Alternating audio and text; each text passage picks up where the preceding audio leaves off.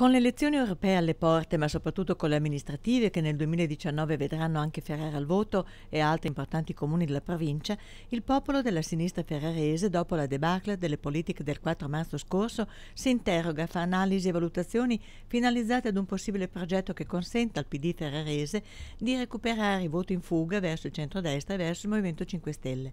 Il confronto promosso mercoledì sera all'Hotel Lucrezia Borgia dall'Associazione Culturale Democratica di Ferrara associazione vicina ai militanti dell'ex PDC di Oliviero di Liberto, aveva come ospiti l'architetto Pierluigi Cervellati, il professor Bruno Poggi, docente di comunicazione politica presso l'Università di Studi Internazionali di Roma, e l'ex sindaco di Ferrara Roberto Soffretti.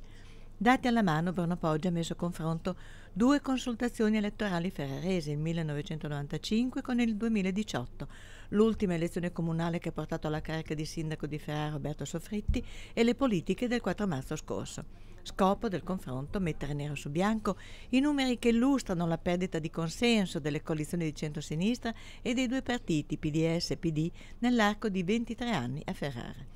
In 23 anni il centro-sinistra ha perso 34.000 voti, ha detto Poggi, con un calo annuale di 1.500 voti, come dire che ogni giorno in questi 23 anni quattro ferraresi hanno voltato le spalle all'area politica, al governo della città da sempre, seppure con le trasformazioni operate dall'Ulivo e dalla nascita successiva del PD. Fra i dati emersi, la certezza che i giovani non votano centro-sinistra è un terremoto all'interno di comunità dove la sinistra è un radicamento storico.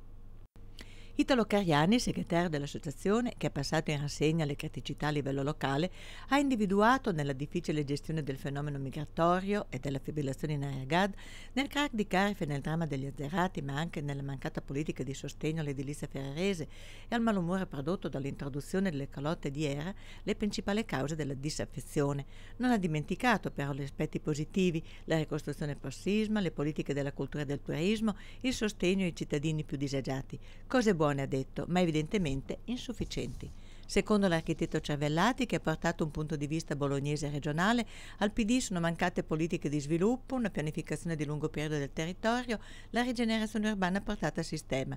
Fra i rimedi suggeriti dai molti interventi, la capacità di riconoscere gli errori fatti, l'ascolto delle ragioni di disagio e di paura di tanti cittadini, la comunicazione di un progetto forte di sviluppo basato sulla piccola impresa, che dia occupazione ed eviti il desertificarsi delle aree urbane, periferie comprese forte il richiamo di Gerolamo Calò e Massimo Buriani all'identità storica della sinistra, ai diritti al lavoro, alle politiche di contrasto alle disuguaglianze. La politica è una cosa difficile e impegnativa, non si improvvisa, ha tuonato nel finale l'ex sindaco Soffretti, soddisfatto per aver smosso un dialogo importante. Soffretti, che ha biasimato la distruzione del Palazzo degli Specchi, di cui ha difeso la bontà del progetto iniziale, travolto poi dall'ombra della mafia, senza detto nessuna responsabilità dell'amministrazione di allora, ha sottolineato per il futuro la necessità di una politica che sappia tenere dritta la barra del timone su un progetto forte di città, anche contro il fuoco amico.